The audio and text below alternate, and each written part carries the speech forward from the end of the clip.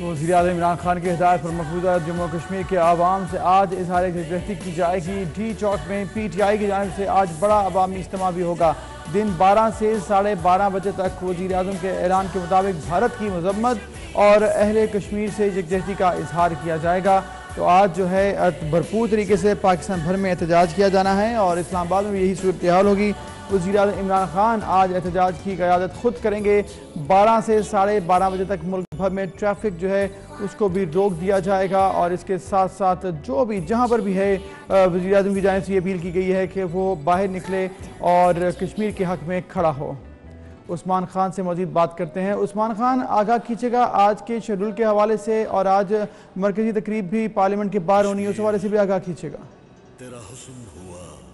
جی بالکل، گزشتہ روز وزیر اعظم عمران خان کی جانب سے اعلان کیا گیا تھا کہ بروز جمعت المبارک کو کشمیریوں کے ساتھ اظہار یکجہتی کے لیے جو ہے وہ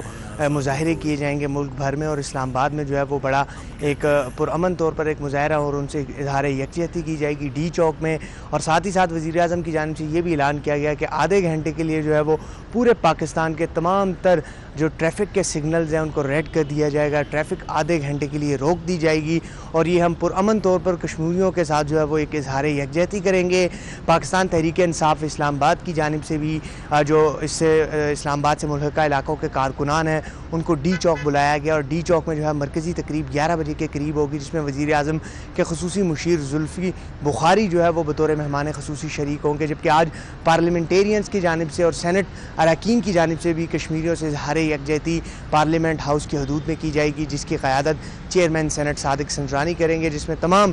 تر اراکین سینٹ کو مدعو کیا گیا۔ اس کے ساتھ ہی ساتھ اسی طرح ملک بھر میں جو ہے وہ مختلف مقامات پر آج وزیر اعظم عمران خان کی ہدایت پر کشمیریوں سے اظہاری یکجہتی کے لیے مظاہرے کیے جائیں گے، سگنل کو روکا جائے گا، جبکہ گزشتہ روز بھی جو ہے وہ عمران خان نے ایک ٹویٹ کیا تھا، جس میں انہوں نے کارکنان اور ساتھ ہی ساتھ پاکستان کی عوام کو یہ اپیل کی تھی کہ وہ آج باہر نکلے، کیونکہ آج کا دن کشمیریوں کے ساتھ اظہار یکجہتی کے لیے منایا جا رہا ہے۔ تو ان کے ساتھ اظہار یکجہتی کے لیے تمام تر جو پارٹی کے کارکنان ہیں، ان کو خصوصی طور پر ہدایت جاری کی گئی اور ساتھ ہی ساتھ پاکستان کی عوام سے بھی یہ اپیل کی ہے کہ وہ آج نکلے اور کشمیریوں کے ساتھ اس اظہار یکجہتی میں شامل ہو۔ اس کے ساتھ ہی ساتھ اگر ہم بات کریں تو پاکستان تحریک انصاف اسلام آباد کے صدر کی جانب سے بھی گزشتہ روز ڈی چوک کا دورہ کیا گیا تھا۔ یہاں پر تمام تر انتظامات مکمل کیے گئے تھے کیونکہ پاکستان تحریک انصاف کی جانب سے جو مرکزی تقریب ہے وہ ڈی چوک میں منعقد ہوگی، جس کے لیے اب سے کچھ ہی دیر بعد کارکنان کی آمد کا سلسلہ بھی شروع ہو جائے گا اور گیارہ بجے جو ہے وہ یہاں پر کارکنان کو وقت دیا تھا کہ اس سے قبل قبل یہاں پر پہنچے،